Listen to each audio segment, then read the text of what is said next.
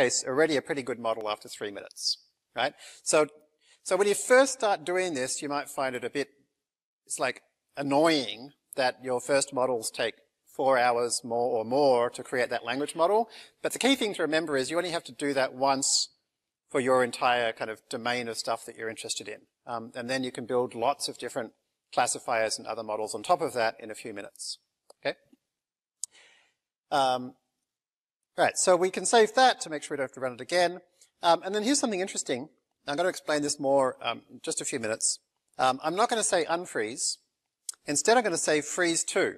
And what that says is unfreeze the last two layers. Don't unfreeze the whole thing. And so we've just found it really helps with these um, text classification, not to unfreeze the whole thing, but to unfreeze one layer at a time. So unfreeze the last two layers, train it a little bit more, unfreeze the next layer again, train a little bit more, unfreeze the whole thing, train it a little bit more. You'll also see I'm passing in this thing momentums equals 0.8.7. We're going to learn exactly what that means um, in the next week or two, probably next week. Um, but for now, um, uh, and we may even automate it, so maybe by the time you watch the video of this, this won't even be necessary any, anymore. Um, basically, we found for um, training recurrent neural networks, RNNs, um, it really helps to decrease the momentum a little bit. So that's what that is. Um, so that gets us a 94.4 uh, accuracy after about half an hour or less of training, um, actually quite a lot less, of training the actual classifier.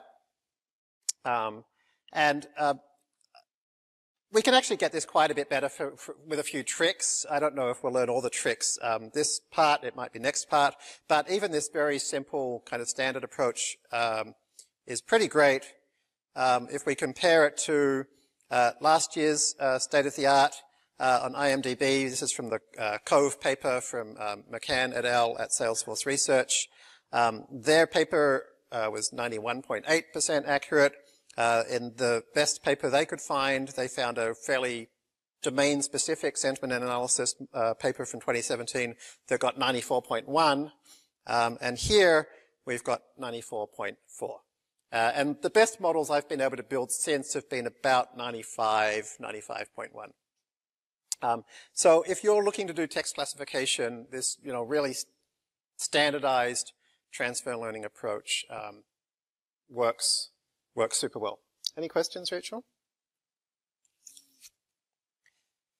Uh, okay, so uh, that was um, that was NLP, and we'll be learning more about NLP later in this course. Um, but now I wanted to switch over and look at um, tabular. Now, tabular data is pretty interesting because it's the stuff that, um, for a lot of you, is actually what you use day to day at work in, in spreadsheets, in relational databases. Just come close, I guess.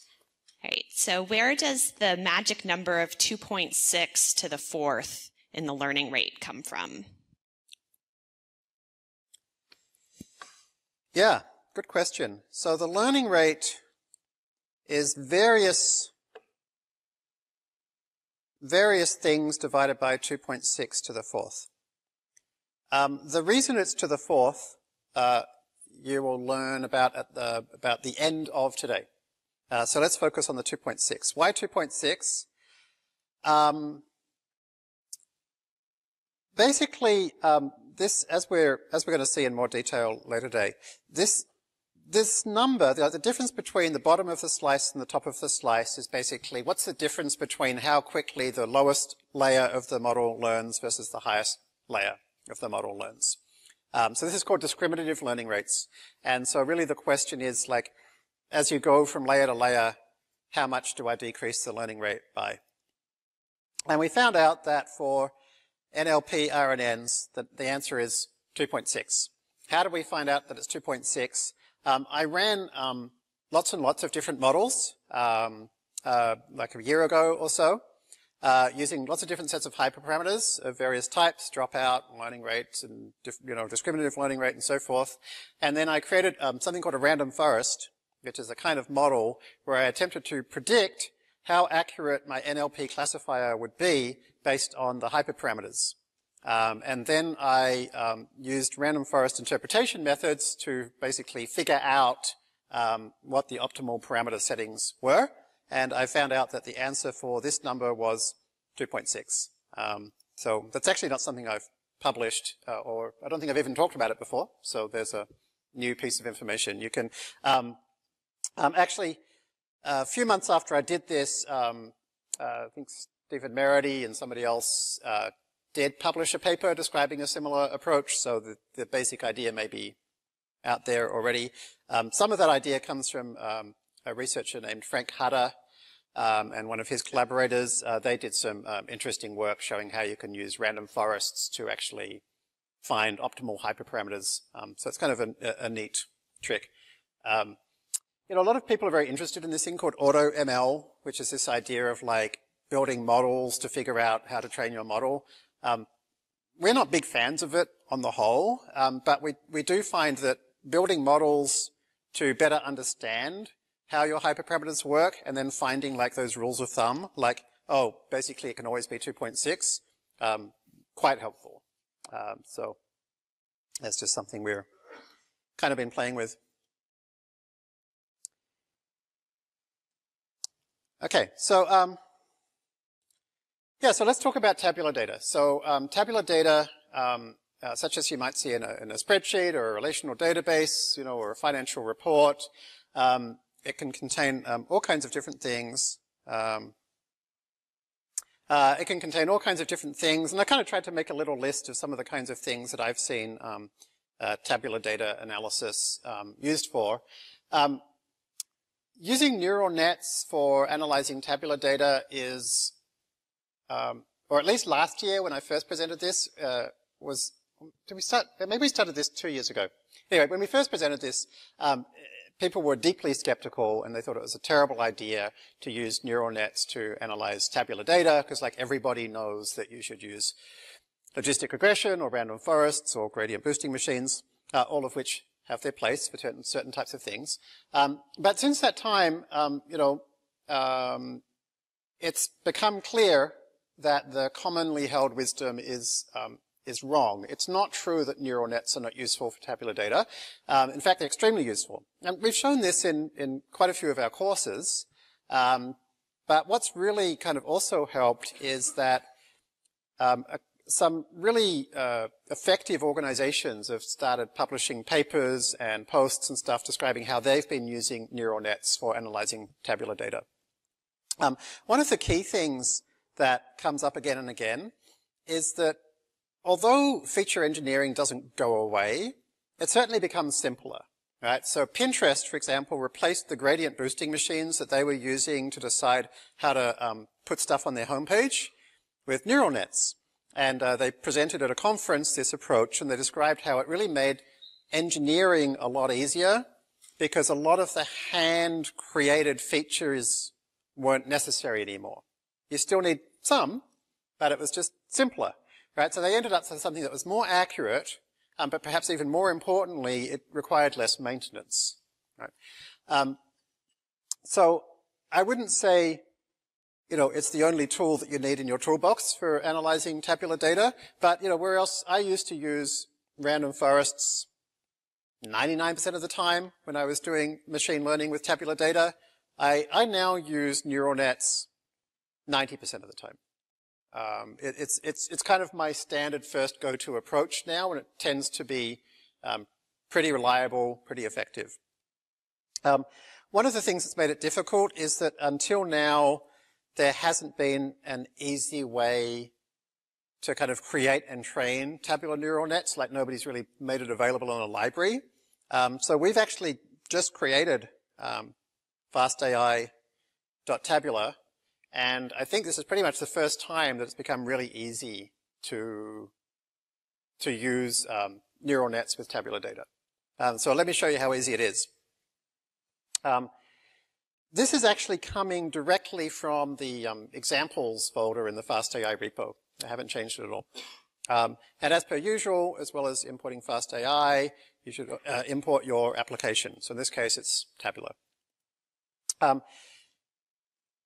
We assume that your data is in a pandas data frame. Um, a pandas data frame is kind of the standard format for tabular data in Python, and it's lots of ways to get it in there, but probably the most common might be pd.readcsv. Um, but you know, whatever your data's in, you can probably get it into a pandas data frame easily enough.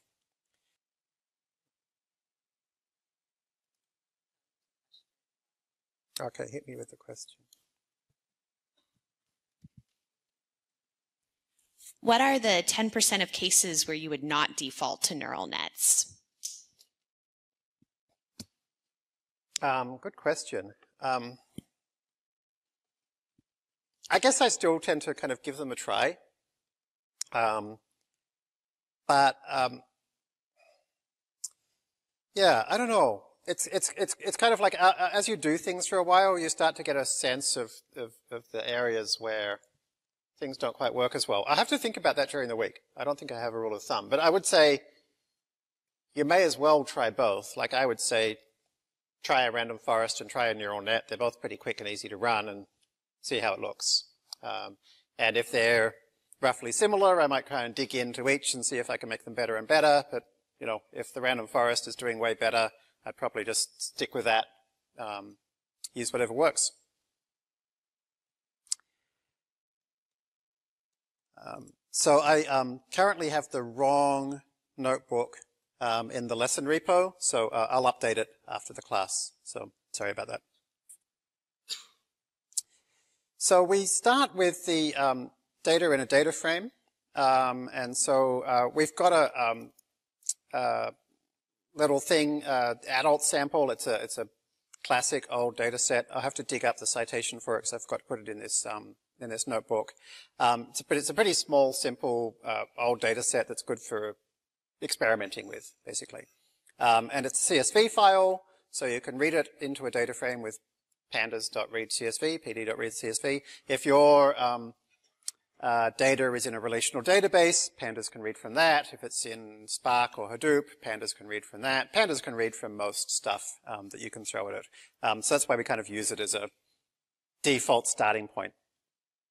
Um, and as per usual, you know, it's, uh, I think it's nice to use the DataBlock uh, API. Um, and so um, in this case, the list that we're trying to create is a tabular list, and we're going to create it from a data frame. And so you can tell it what the data frame is and what the path that you're going to use to kind of save models and intermediate steps is. And then you need to tell it what are your categorical variables and what are your continuous variables. So we're going to be learning a lot more about what that means to the neural net um, next week. Um, but for now, uh, the quick summary is this. Um, your independent variables are the things that you're using to make predictions with, right? So things like education and marital status and age and so forth. Um, some of those variables, uh, like age, are basically numbers. They could be any number. You know, you could be 13.36 years old or 19.4 years old or whatever. Whereas things like marital status are um, options that can be selected from a discrete group. Um, married, single, divorce, whatever. Sometimes those options might be quite a lot more, like occupation. There's a lot of possible occupations. Um, and sometimes they might be binary, could be just true or false. But anything which um, you can select the, the answer from a small group of possibilities is called a categorical variable. And so we're going to need to use a different approach in the neural net to modeling categorical variables to what we use for continuous variables. For categorical variables, we're going to be using something called embeddings, which we'll be learning about um, later today. Uh, for continuous variables, uh, they can just be sent into the neural net just like pixels in a neural net can. Because like pixels in a neural net are already numbers. Uh, these continuous things are already numbers as well. Um, so that's, that's easy. Okay. So that's why you have to tell um, the um, uh, tabular list uh, from data frame uh, which ones are, are which. Um, there are some other ways to do that by pre-processing them in pandas um, to make things categorical variables, but it's kind of nice to have one API for doing everything. You don't have to think too much about it. Um, then we've got something which is a lot like transforms um, in um, uh, in computer vision. Uh, transforms in computer vision do things like uh, flip uh, a photo on its axis, or turn it a bit, or brighten it, or normalize it. Um, but for um, tabular data, instead of having um, transforms, we have things called processes. And uh, they're nearly identical, but the key difference, which is quite important, is that a processor is something that happens ahead of time, right? So we basically pre-process the data frame uh, rather than doing it um, as we go, right? So um, transformations are really for data augmentation, where you want to like randomize it and do it differently each time, whereas processes are things that you want to do once ahead of time. So we um, have a number of um, processes in the FastAI library, um, and the ones we're going to use this time are fill missing, so that's going to look for um, uh, missing values and uh, deal with them some way. Um, um, we're going to find categorical variables and uh, turn them into pandas categories. And we're going to do normalization ahead of time, which is to take continuous variables and um, uh, subtract their mean and divide by them by their standard deviation, so they're um, zero, one um, uh, variables. Um, the way we deal with missing um, data, we'll talk more about um, next week, um, but in short, we replace it with a median and add a new column, which is a binary column of saying wh whether that was missing or not.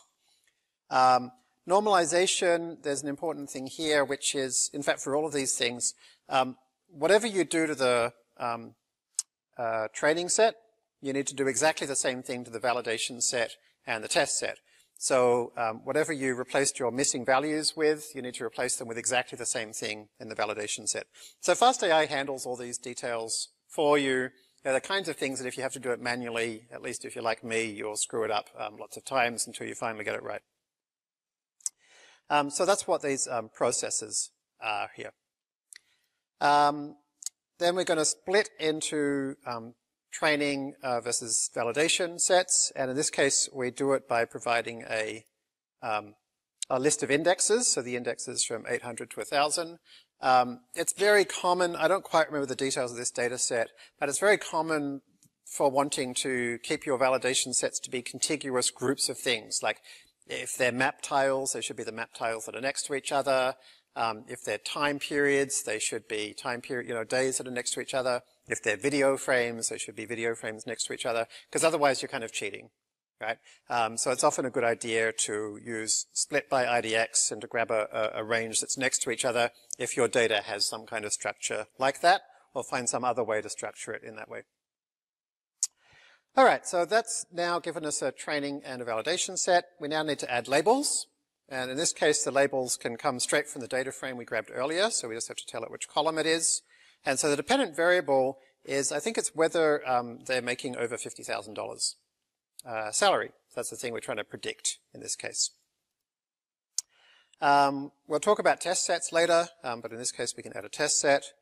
Um, and finally get our data bunch. So at that point we have something that looks like this. Okay, so there is our um, there is our data. Uh, and then to use it, um, it looks very familiar. Um, you get a learner. In this case, it's a tabular learner. Passing in the data, some information about your architecture, and some metrics. And you then call fit. You had some questions? All right, let's hit the questions. How to combine NLP tokenized data with metadata, such as tabular data with FastAI. For instance, for IMDb classification, how to use information like who the actors are, year made, genre, etc. Yeah, we're not quite up to that yet. Um, so I need to learn a little bit more about how neural net architectures well work. Uh, but um, conceptually, it's kind of the same as the way we combine categorical variables and continuous variables. Basically, in the neural network, you can have uh, two different sets of inputs um, merging together into some layer. Could go into an early layer or into a later layer. It kind of depends. If it's like text and an image and some metadata, you probably want the text going into an RNN, the image going into a CNN, uh, the metadata going into some kind of tabular model like this, and then you'd have them basically all concatenated together and then go through some fully connected layers um, and train them end to end.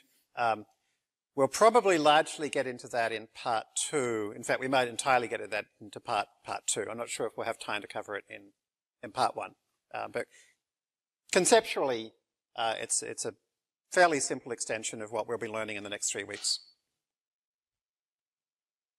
Next question is, do you think things like scikit-learn and XGBoost will eventually become outdated? Will everyone use deep learning tools in the future except for maybe small data sets? Um, I have no idea. I'm not good at making predictions. I, um, uh, I'm not a machine learning model. Um, I mean, XGBoost is a really nice piece of software. Um, there's quite a few really nice pieces of software for gradient boosting in particular. Um, uh, they have some really nice features, or actually Random Forest in particular has some really nice features for interpretation, which I'm sure we'll find similar versions for neural nets, but they don't necessarily exist yet. Um, so I don't know. For now, um, they're, they're both useful tools. Um, scikit-learn uh, you know, uh, is a library that's uh, often used for kind of pre-processing and running models. Um, yeah, I mean, again, it's it's hard to predict where things will end up. It's it's kind of in some ways it's more focused on some older approaches to modeling, um, but I don't know. They keep on adding new things, so we'll see. Um, I keep trying to incorporate more scikit-learn stuff into FastAI, and then I keep finding ways I think I can do it better, and I throw it away again. So, um, so that's why there's still no scikit-learn dependencies in FastAI. I um, keep finding other ways to do stuff. Uh, okay, so um, we're going to learn what layers equals means uh, either towards the end of class today or the start of class next week, but this is where we're basically defining our architecture, just like when we chose ResNet 34 or whatever um, for ConvNets. Um, we'll look at more about metrics in a moment, but just to remind you, metrics are just the things that get printed out. They don't change our model at all. So in this case, we're saying I want you to print out the accuracy to see how we're doing. Um, okay, so that's how to do um, tabular. This is going to work really well because we're going to hit our break soon. And the idea was that after three and a half lessons, we're going to hit the end of uh, all of the quick overview of applications. And then we're going to go down the other side. I think we're going to be to the minute. We're going to hit it, right? Because the next one is collaborative filtering. Okay. So collaborative filtering um, is where you have information about um, who bought what or who liked what. You know, it's basically something where you have um, something like a, a, user or a reviewer or whatever, um, and information about what they've bought or what they've written about or what they've reviewed, right? So in the most basic version of collaborative filtering, um, you just have two columns, something like user ID and movie ID. And that just says this user bought that movie, this user bought that movie, this user bought that movie. So for example, Amazon has a really big list of user IDs and product IDs of like, what did you buy? Then you can add additional information to that uh, table, such as, oh, they left a review. What review did they give it? So it's now like user ID, movie ID, number of stars. Um, you could add a time code. So like this user bought this product at this time and gave it this review. But they're all basically the same kind of structure. So there's kind of like two ways you could draw that collaborative filtering structure. Um, one is kind of a two column approach where you've got like user and I don't know, movie, right? And you've got user ID, movie ID, user, you know, each, each pair basically describes that user watched that movie, possibly also plus number of stars, you know, three, four, one, whatever. Um, well, the other way that you could write it would be you could have like all the users down here and all the movies along here, right? And um, and then um, you know you can look and find a particular cell in there to find out, you know, uh, could be the rating of that user for that movie, or there's just a one there if that user watched that movie or whatever. So there's like two different ways of representing the same information.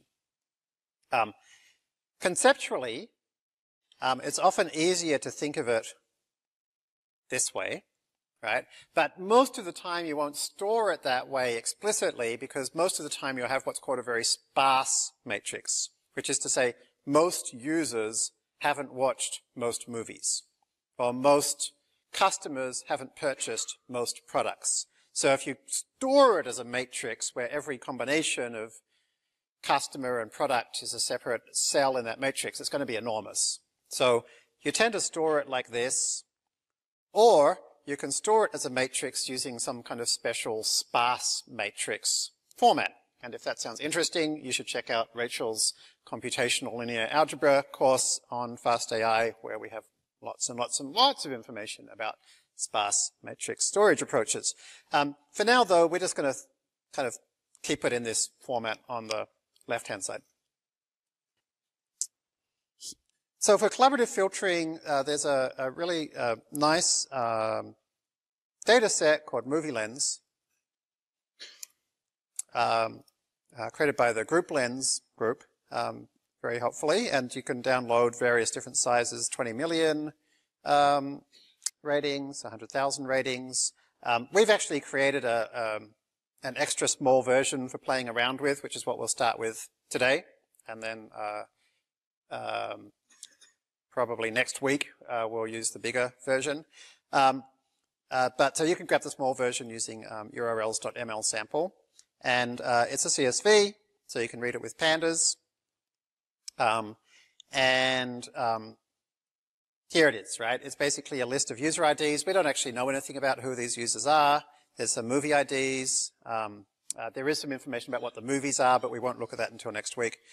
Um, and then there's the rating, and then there's the, the timestamp. Uh, we're going to ignore the timestamp for now. Um, so uh, that's a subset of our data. That's the head. So the head in pandas is just the first few rows. Um, uh, so now that we've got a data frame, I mean, the nice thing about collaborative filtering is, is it's, it's incredibly simple. Like that's all the data that we need. So you can now go ahead and say, get collaborative learner, and you can actually just pass in the data frame directly. Um, the, the architecture, you have to tell it how many factors you want to use, and we're going to learn what that means after the break. Um, and then something that can be helpful is to tell it uh, what the range of scores are, and we're going to see how that helps after the break as well. Uh, so in this case, the minimum score is zero, the maximum score is five. Um, so now that you've got a learner, uh, you can go ahead and call um, fit one cycle. Um, and trains for a few epochs, and there it is. So at the end of it, you now have something where you can pick a user ID and a movie ID and guess whether or not that user will like that movie.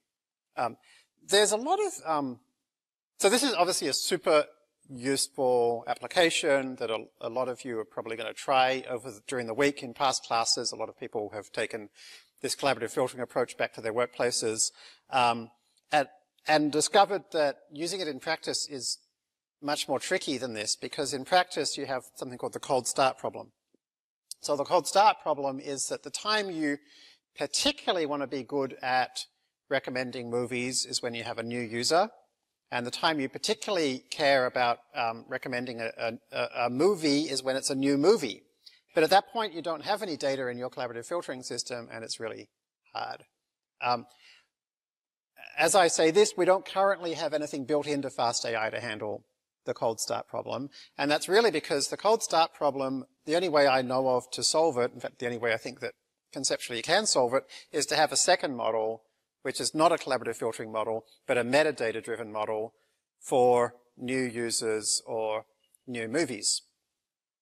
Um, I don't know if Netflix still does this, but certainly what they used to do when I signed up to Netflix was they started showing me lots of movies and saying, have you seen this? Did you like it? Have you seen this? Did you like it? You know, and so they fixed the cold start problem through the UX. So there was no, you know, cold start problem. They found like 20 really common movies and asked me if I liked them. They used my replies to those 20 to show me 20 more that I might have seen. And, you know, by the time I'd gone through 60, I wasn't, you know, there was no cold start problem anymore. And for new movies, it's not really a problem because like the first hundred users who haven't seen the movie, you know, go in and say whether they liked it. And then the next hundred thousand, the next million, it's not a cold start problem anymore. Um, but the other thing you can do if you, for whatever reason, kind of can't go through that UX of like asking people, did you like those things? So for example, if you're selling products and you don't really want to show them like a big selection of your products and say, did you like this? Because you just want them to buy. Um, you could instead try and use a, a metadata-based kind of tabular model. You know, what, um, what geography did they come from?